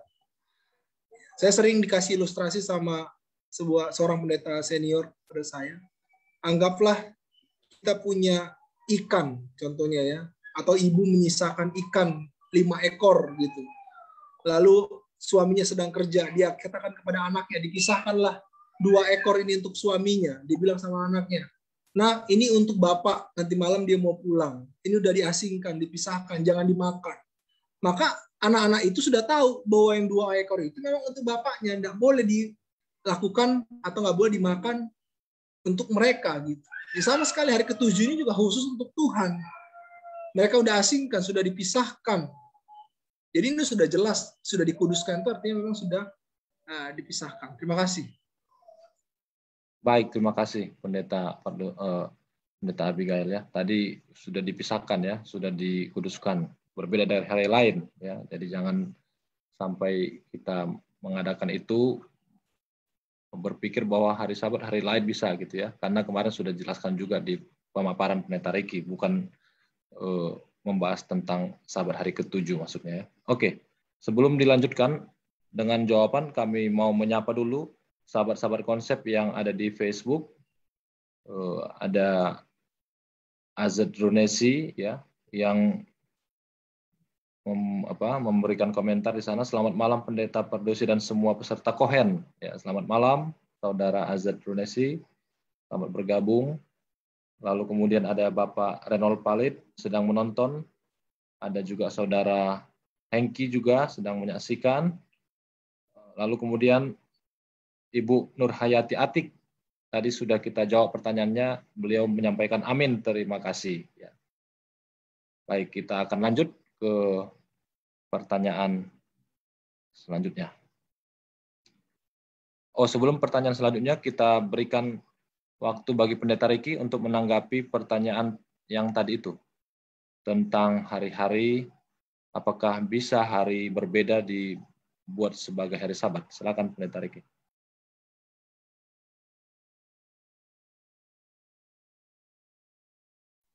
Oh ya, kita langsung ke Pendeta Pardosi karena Pendeta Riki belum nyambung. Silakan, Sir. Baik, Eh, sebenarnya saudara-saudara hari Sabat ini juga nggak persis juga sama di seluruh dunia. Kalau saudara ikuti ya, karena ada perbedaan waktu kan. Ya.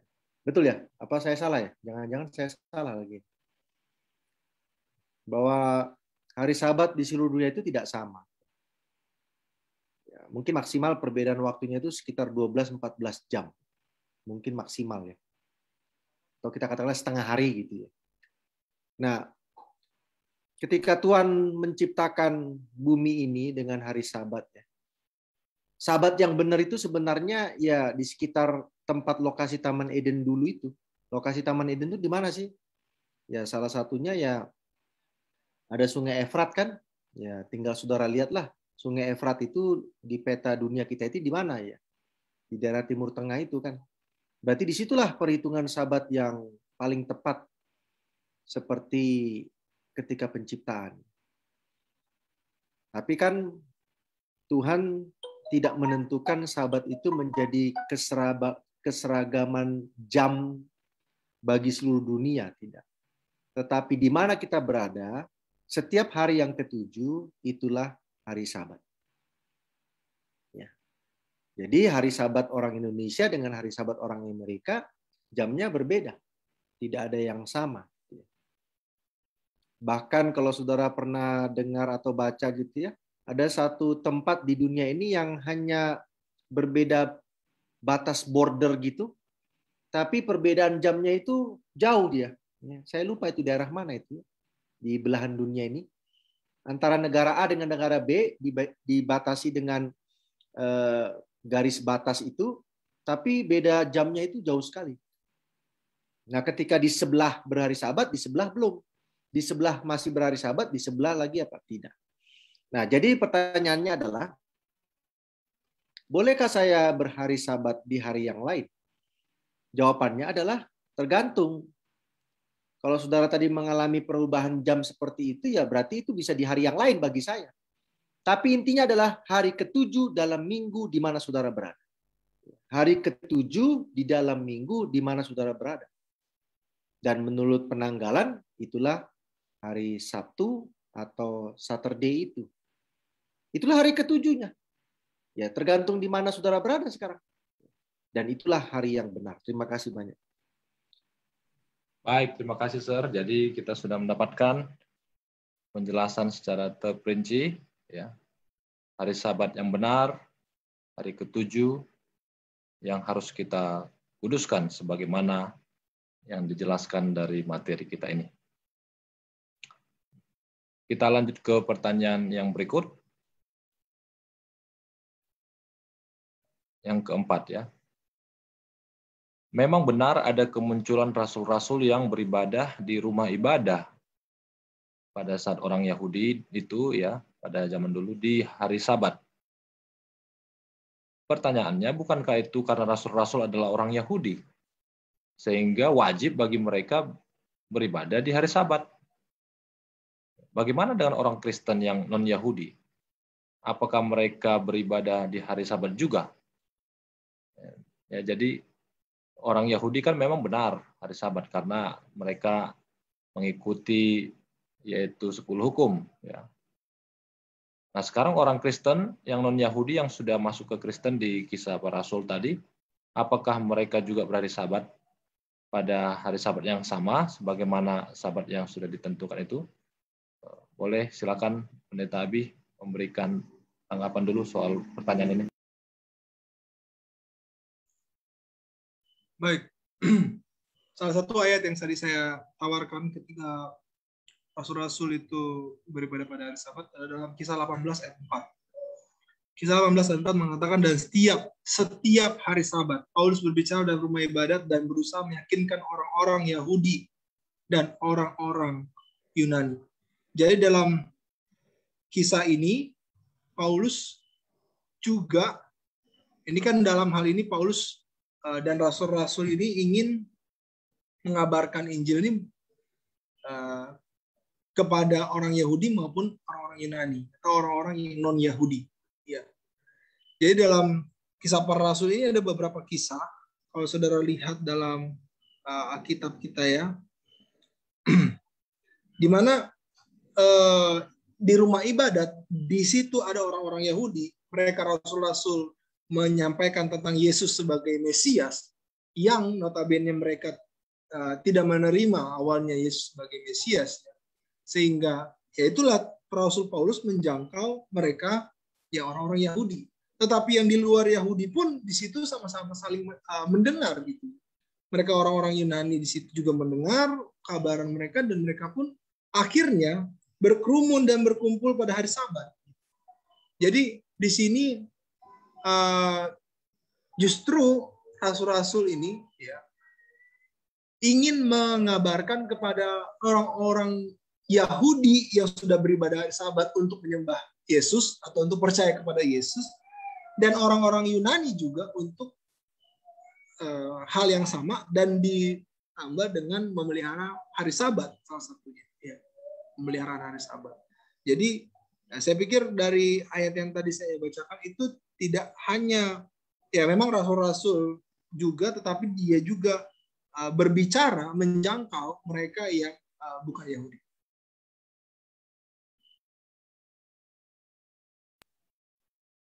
Baik, terima kasih uh, Pendeta Abigail. Sekarang kita mau uh, dengar dulu tambahan dari Pendeta Ari Depari menanggapi pertanyaan nomor 4 tadi. Silakan Pendeta. Baiklah, selamat malam. Terima kasih Pendeta Jimmy untuk kesempatan yang diberikan menjawab tentang uh, pertanyaan bagaimana dengan orang-orang Kristen non Yahudi apakah mereka menguruskan hari Sabat. Ya, jadi eh, seperti yang disampaikan oleh pendeta Abi tadi, kalau kita cari ayat yang dengan spesifik membahas tentang orang-orang Kristen menguruskan hari Sabat, memang tidak ada ditemukan. Ya, ini juga sama dengan pertanyaan yang bilang bagaimana dengan orang-orang di zaman Adam sampai kepada orang sebelum peristiwa Sinai, nggak pernah dibilang mereka menguruskan sahabat. Ya. Dibilang begitu, dalam pernyataan itu seolah-olah bahwa sahabat itu tidak dikuduskan oleh Adam, Henok, Nuh, Abraham, dan dalam perjanjian baru seolah-olah statement, statement ini menyatakan bahwa orang-orang Kristen tidak pernah menguruskan sahabat. Ya, sehingga eh, dosen kami dulu juga pernah bilang di Unai bahwa membaca Alkitab itu bukan secara tersurat saja, tetapi melihat pesan-pesan tersirat. Kalau kita melihat pesan-pesan tersirat di Alkitab, kita akan yakin dengan pasti bahwa Adam sampai semua nabi sebelum peristiwa Sinai itu menguruskan sahabat. Itu alasannya kenapa Tuhan bilang kepada orang Israel, ingat, karena dulu udah tahu, dan nggak perlu dikasih tahu. Dan itu juga menurut saya relevan dengan orang-orang Kristen di jemaat mula-mula. Apakah mereka menguruskan sabat? Ya, secara logika sudah pasti. Tapi kalau kita bicara berhubungan dengan pertanyaan ketiga tadi, loh, menurut kebiasaan mereka orang Kristen mula-mula itu menguruskan uh, menguruskan Tuhan setiap hari, ya. Jadi kita harus tidak terjebak dengan perkumpulan mereka ataupun peribadahan sama dengan pengudusan. Ya. Itu makanya beberapa kutipan di perjanjian baru itu salah tangkap. Karena menurut mereka kalau Rasul Paulus lagi ngumpul, di situlah mereka menguruskan hari itu. Sebenarnya tidak. Kalau secara konteks, ya kalau kita lihat kisah para Rasul 2 ayat 46, orang Kristen itu ngumpul tiap hari. Jadi apakah itu berarti mereka menguruskan hari itu setiap hari? Tidak. Ya. Pesan penting yang bisa kita lihat di sini adalah bahwa tidak ada pernyataan Tuhan yang pertama. Tidak ada pernyataan nabi.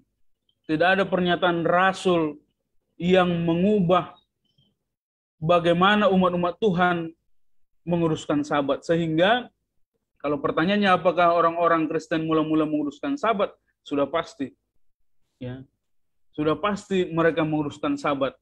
Dan tentunya kalau pendeta Abi bilang tadi, waktu-waktu itu juga digunakan untuk melakukan pelayanan-pelayanan. Kenapa seolah-olah sabat yang dilakukan orang-orang Kristen itu tidak sama dengan sabat yang dilakukan oleh orang-orang uh, Yahudi pada saat itu karena memang Yesus tidak setuju cara pengudusan sahabat orang Yahudi.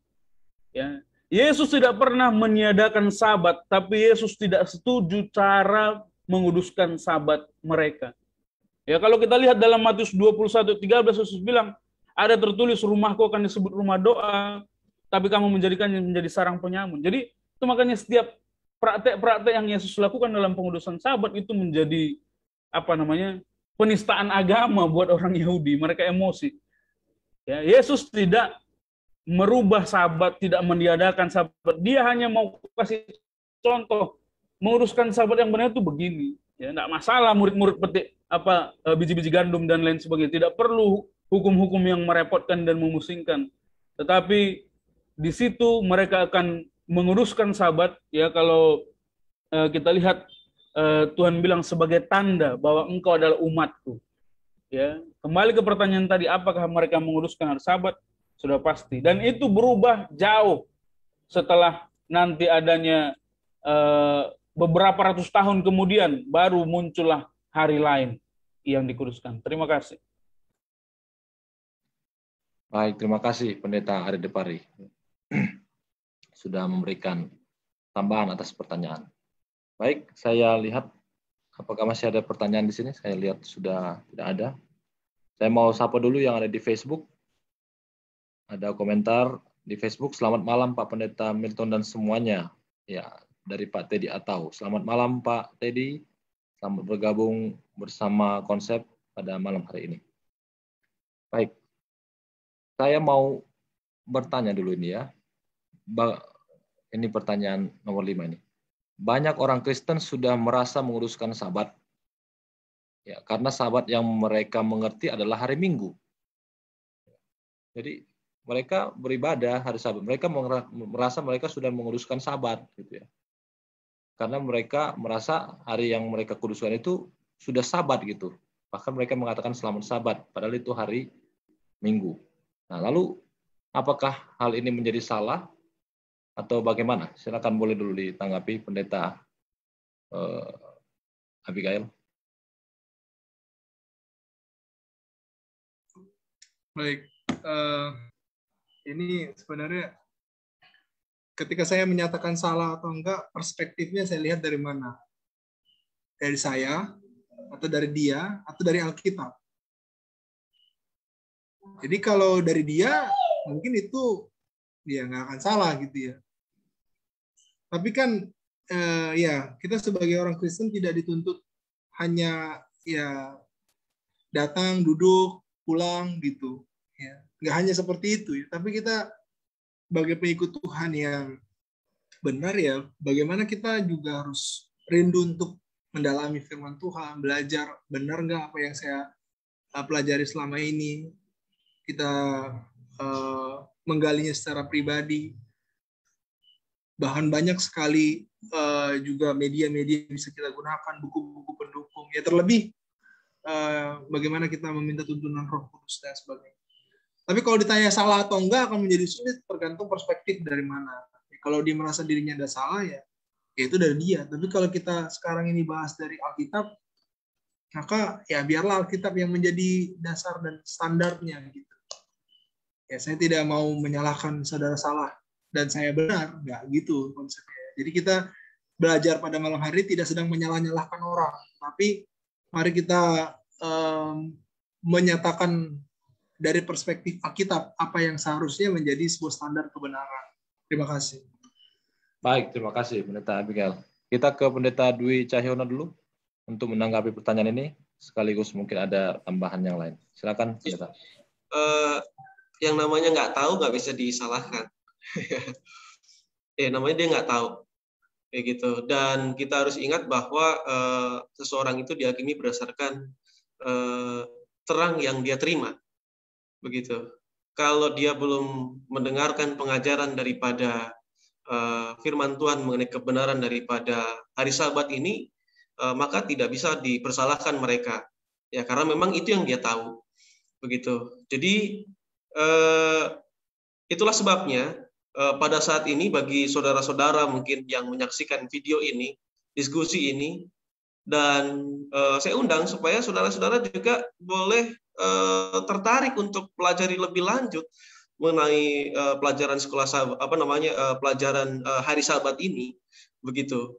Pelajari detail ya mudah-mudahan kalau sudah terima ya lakukan. Ya kita jalani. Ya sebab kalau uh, kita tahu dan kita tidak mau melakukannya di situlah akan menjadi sebuah uh, dosa kayak gitu tapi kalau kita nggak tahu ya gimana kita mau melakukan yang kita nggak tahu kayak gitu tapi sebenarnya uh, saya tadi mau kasih tambahan sebenarnya tadi uh, pendeta. Ini pertanyaan nomor tiga. Ya mohon maaf ya, balik lagi ya. Uh, bahwa semua hari itu sama saja dari uh, Roma 14 ayat 5. Ayat ini paling sering ya dipakai untuk uh, menolak kebenaran hari Sabat. Karena semua hari sama saja. Semua ciptakan oleh Tuhan, mulai hari pertama, hari ketujuh pun semua ciptakan oleh Tuhan. Ya, ya betul juga, memang semua hari ciptakan oleh Tuhan begitu. Tapi uh, ada beberapa poin. Yang pertama Roma 14 ayat 5 ini tidak berbicara mengenai uh, hari Sabat. Kayak gitu. Nah, peristiwa peristiwa ini uh, ternyata terulang kayak gitu. Masalah mengenai pemeliharaan hari ini terulang di dalam Galatia 4. Itu ayat yang ke-10. Kamu dengan teliti memelihara hari-hari tertentu, bulan-bulan baru, masa-masa yang tetap dan tahun-tahun. Aku khawatir kalau kalau susah payahmu untuk kamu telah sia-sia. Jadi ada uh, teguran juga kepada jemaat Galatia karena mereka memelihara hari-hari tertentu. Hari-hari apa itu yang dimaksud kalau di Galatia? Ya. Di ayat 8 ya, dahulu ketika kamu tidak mengenal Allah, kamu memperhambakan diri kepada Allah-Allah yang pada hakikatnya bukan Allah. Jadi ternyata Paulus di sini berbicara kalau di Galatia ini berbicara untuk orang-orang yang tadinya dia bukan menyembah Allah, kemudian dia bertobat menyembah Allah, tapi masih pelihara hari-hari uh, di, di agama mereka. Ya mungkin ada yang uh, seperti kalau misalnya, mohon maaf, orang uh, kafir di Roma sebelum uh, menjadi Kristen, mereka kan beribadahnya pada hari Minggu begitu. Mereka beribadah hari Minggu. Mungkin ada yang beribadah mungkin menyembah dewa apa, begitu ibadahnya hari Selasa, ibadahnya hari uh, Senin dan sebagainya. Uh, dia dia masih pegang itu. Terus ada hari-hari raya, hari-hari uh, bulan-bulan tertentu, tahun-tahun tertentu. Dia itu masih dipelihara sama sama mereka dan itu ditegur oleh Rasul Paulus.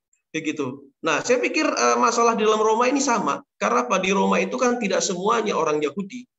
Tidak semuanya tadinya itu mereka berhari Sabat begitu dan mungkin aja masih pelihara-pelihara begitu dan mungkin juga dari orang-orang Yahudi masih ada yang pelihara-pelihara misalnya hari raya Pondok Daun, hari raya eh, apa namanya Paskah dan sebagainya padahal sudah ada Yesus. Ya, padahal sudah ada Yesus. Nah, jadi ini tidak berbicara mengenai hari Sabat yang ke ketujuh atau hari Sabat penciptaan. Dan eh, kembali ke sini lagi, kita harus tahu bahwa ayat ini memberikan kepada kita bukan berarti bahwa hari Sabat itu tidak perlu dikhususkan sebagai hari ibadah. Karena apa? Itu sudah diminta oleh Tuhan. Walaupun semua hari kita beribadah selama tujuh hari full, kita beribadah setiap hari kita beribadah pagi, siang, sore kita beribadah, tetapi ada satu yang diminta oleh Tuhan untuk dikhususkan, yaitu hari Sabat. Itu saja mungkin tambahannya. Terima kasih. Baik, terima kasih Pendeta Dwi Cahyono. Jimmy, saya mau tanya begini Pendeta.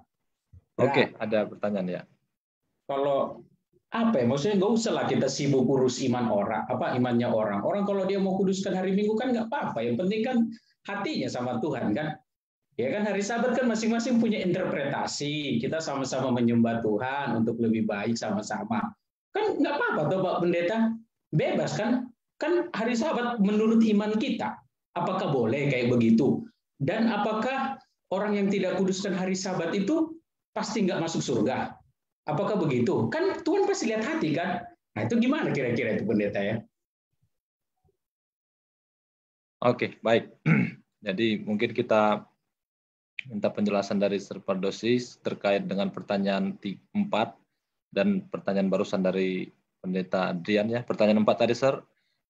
Demikian pertanyaannya. Memang benar ada kemunculan rasul-rasul beribadah di rumah ibadah orang Yahudi di hari Sabat. Pertanyaannya, bukankah itu karena rasul-rasul orang Yahudi?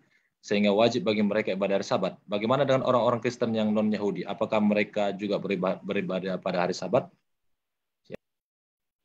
Baik, terima kasih ya. Hari Sabat itu kan awalnya untuk manusia, gitu. bukan untuk Yahudi gitu. saja. Jangan lupa saudara-saudara bahwa Yahudi itu menjadi contoh. Gitu. Bangsa Israel itu menjadi contoh karena dunia ini kan sudah melupakan perintah-perintah Tuhan itu. Sementara Tuhan mau menyelamatkan dunia ini. Nah itu sebabnya diambillah sebuah contoh. sebagai alat peraga. Alat peraga itu siapa? Bangsa Israel. Nah, sekarang saya tanya sama saudara-saudara, kalau hari Sabat itu hanya untuk orang Israel, ngapain masuk 10 hukum? 10 hukum itu kan untuk seluruh dunia. Adakah yang menyangkal di antara kita sekarang bahwa 10 hukum itu adalah hukum universal? Seluruh dunia menggunakan 10 hukum itu dalam prinsip-prinsip pemerintahannya. Jangan membunuh, jangan berzina, jangan mencuri, itu kan digunakan oleh seluruh dunia. Masalah hukum pertama dan keempat, ah, itu masalah pribadi masing-masing. Tapi hukum yang kelima sampai ke sepuluh itu kan sudah menjadi prinsip universal dunia itu. Ya. Nah, oleh sebab itu, kalau hari Sabat itu untuk hanya untuk orang Yahudi, ya untuk apa masuk ke dalam sepuluh hukum? Dia lebih bagus masuk dalam ketetapan-ketetapan saja. Ya, mungkin bagian dari hukum upacara korban lah, atau mungkin bagian dari tujuh hari raya orang Yahudi kan. Nggak usah masuk ke dalam sepuluh hukum karena kalau dia tujuh hari raya orang Yahudi atau masuk dalam hukum upacara korban dengan matinya Yesus sebagai sebagai juru selamat, ya itu tidak berlaku lagi otomatis kan gitu. Sehingga demikian hari Sabat itu pun tidak berlaku lagi karena dia adalah bagian dari ketetapan-ketetapan yang di luar sepuluh hukum. Tapi karena hari Sabat itu dalam sepuluh hukum, maka itu berlaku universal. Jadi bagi rasul-rasul itu berlaku, bagi orang Yahudi itu berlaku, dan bagi kekristenan itu berlaku selama Tuhannya sama, yaitu Tuhan pencipta langit dan bumi, YHWH. Kalau Tuhannya tidak sama, ya bisa saja beda. Tetapi kan rasul-rasul membawa kepada Tuhan yang sama. Baik kepada orang Yahudi maupun kepada non-Yahudi. Tuhannya sama. YHWH pencipta langit dan bumi ini.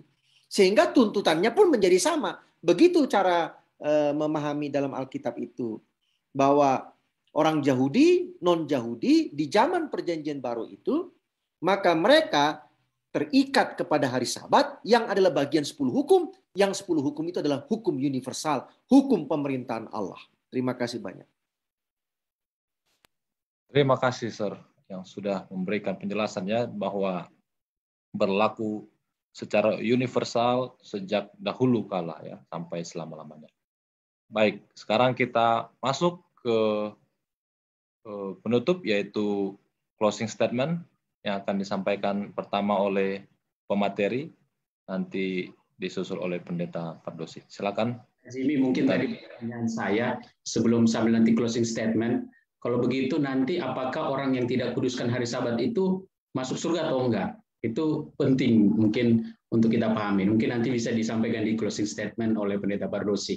Orang nggak kuduskan hari Sabat, apakah nggak akan masuk surga ataukah akan masuk surga? Oke, terima kasih pendeta. Nanti di closing. Silakan pendeta Abigail. Baik, kesimpulan dari saya atau closing statement dari saya pertama, sahabat ada sebelum masuknya dosa ke dunia ini. Sahabat diciptakan bukan untuk orang Yahudi saja, melainkan untuk semua ciptaan. Yesus mengatakan bahwa sahabat diciptakan untuk manusia. Sahabat bukan milik orang Yahudi atau orang Kristen. Sahabat adalah milik Tuhan Allah yang diciptakan untuk kita semua manusia. Pengalaman bangsa Israel di padang belantara adalah sebuah pengalaman untuk pelajaran bagi kita saat ini menguduskan hari sabat, hari ketujuh, dengan tidak melakukan segala urusan dan pekerjaan pada hari sabat. Sahabat juga bukan hanya dikuduskan di perjanjian lama, tetapi juga di perjanjian baru. Dalam hal ini Yesus dan Rasul juga menguduskan hari sabat.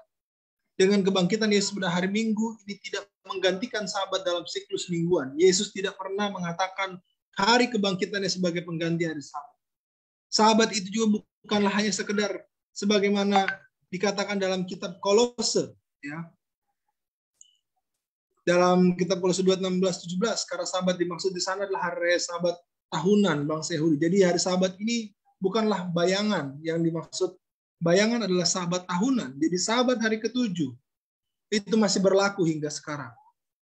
Dan dua terakhir, sabat yang dirubah menjadi hari Minggu adalah karya manusia, bukan berasal dari Allah. Tadi kita sudah bahas catatan sejarahnya. Tuhan mengajak kita untuk menurut kepada Allah dan bukan menurut manusia. Dan yang terakhir, sahabat juga adalah tanda materai Allah kepada umat-umatnya di akhir zaman. Di mana materai ini mencakup nama Allah, gelarnya, dan wilayah kekuasaannya. Materai ini adalah tanda kepemilikan kepemilikan Allah kepada umatnya yang setia yang menuruti perintahnya di akhir zaman. Jadi matra Allah ini adalah uh, penanda yang akan membedakan mana yang menjadi umat Allah dan mana yang tidak. Mana yang menjadi milik Allah dan mana yang tidak. Dan itu adalah hari sabat. Terima kasih.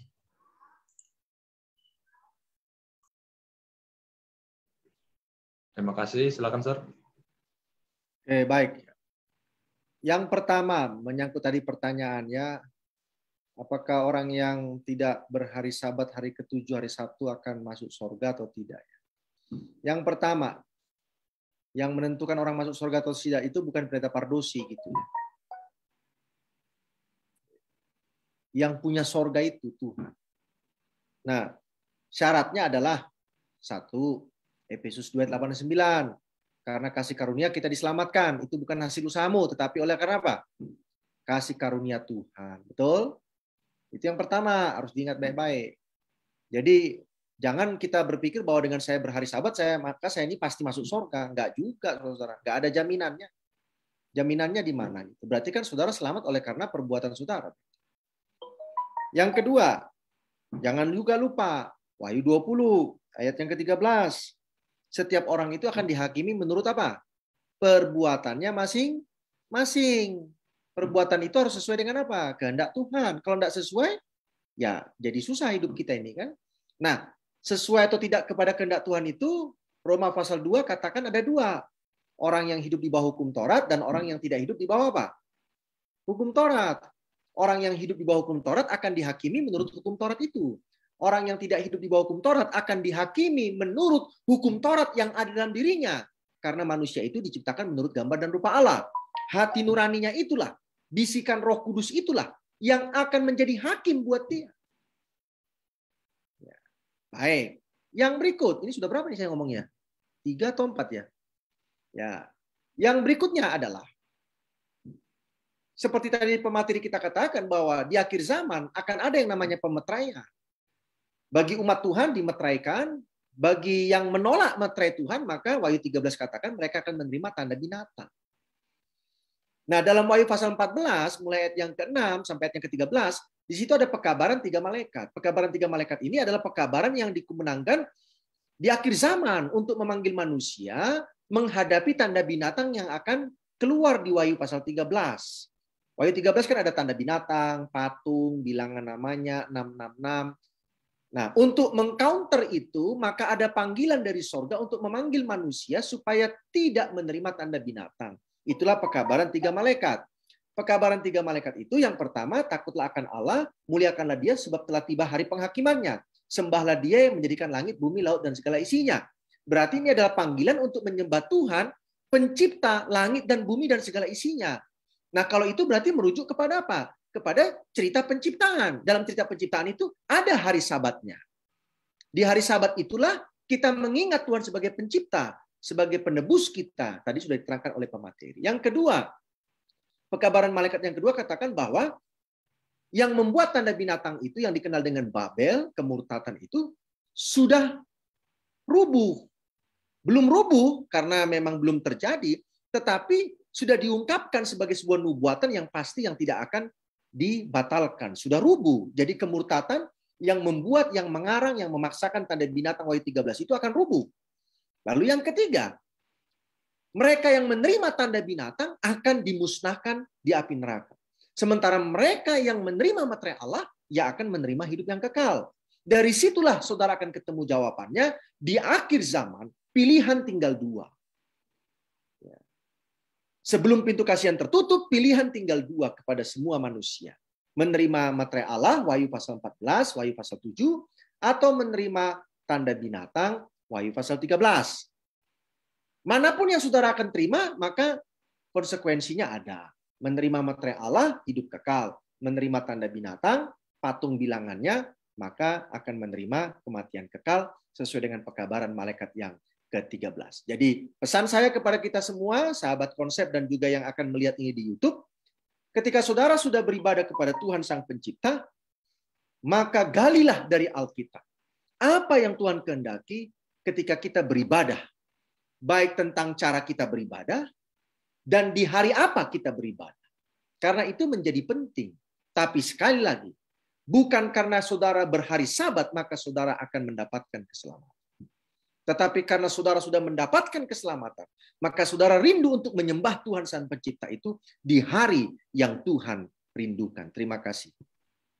Amin. Terima kasih, Sir, dan pemateri kita pada malam hari ini, serta semua teman-teman yang sudah berpartisipasi ya. Kiranya pelajaran ini bisa kita uh, bagikan kepada sahabat-sahabat konsep yang lain. Nanti juga akan di post di YouTube konsep yang belum bisa menyaksikan saat ini bisa menyaksikan ulang nanti di tayangan ulangnya. Baik, dengan demikian berakhirlah kita punya kegiatan pada malam hari ini eh, pelajaran kita. Kita akan sambung kembali minggu depan pelajaran kita dan pada saat ini kita akan berdoa. Doa tutup kami minta kesediaan pendeta Ricky Mual untuk berdoa. Silakan pendeta. Mari kita berdoa. Tuhan, Bapa kami yang ada di dalam kerajaan sorga, Tuhan yang penuh kasih dan kemurahan, kami sungguh sangat bersyukur karena memiliki waktu yang begitu baik malam hari ini. Kami boleh belajar akan firman Tuhan, terlebih khusus mengenai hari sabat Tuhan. Kiranya hikmat bijaksana sorga, urapan roh kudus menjadi bagian kami semua, terutama sahabat-sahabat konsep yang ikut belajar bersama, baik di ruang Zoom ini ataupun yang menyaksikan dari Facebook ataupun dari YouTube. Biarlah berkat sorga menyertai kehidupan mereka, kesehatan, kekuatan Tuhan selalu berikan. Bapak di sorga, hamba juga berdoa untuk pendeta Abi yang telah melayani, dan Tuhan berkati hamba Tuhan ini dalam pelayanan bersama istri dan anak, di tempat yang Tuhan telah percayakan. Demikian juga kepada pendeta Pardosi, kiranya hikmat bijaksana surga selalu menjadi bagiannya. Inilah yang menjadi doa dan harapan kami Tuhan. Kami percaya Tuhan mendengar dan menjawab doa. Karena kami serahkan semuanya hanya di dalam nama Yesus, yang adalah Tuhan dan Juru Selamat. Amin. Amin. Terima kasih pendeta. Jangan lupa sahabat-sahabat konsep kita akan kembali uh, di tayangan live pada hari Senin yang akan datang. Yang akan membahas adalah Pendeta Jeremy Hutajulu. Judulnya apakah kaitan Advent dengan Judaisme? Ya, jadi apa hubungan Judaisme dengan Advent? Kita akan melihat pemaparan materi dari pendeta Jeremy Hutajulu, jadi jangan sampai kita melewatkan dan kita lupakan untuk tetap join di live Facebook konsep pada hari Senin depan. Demikian acara yang kami bisa sampaikan pada malam hari ini. Kiranya Tuhan memberkati kita semua. Sampai bertemu minggu depan dan selamat malam.